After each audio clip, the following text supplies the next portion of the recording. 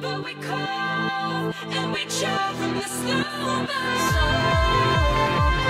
burn.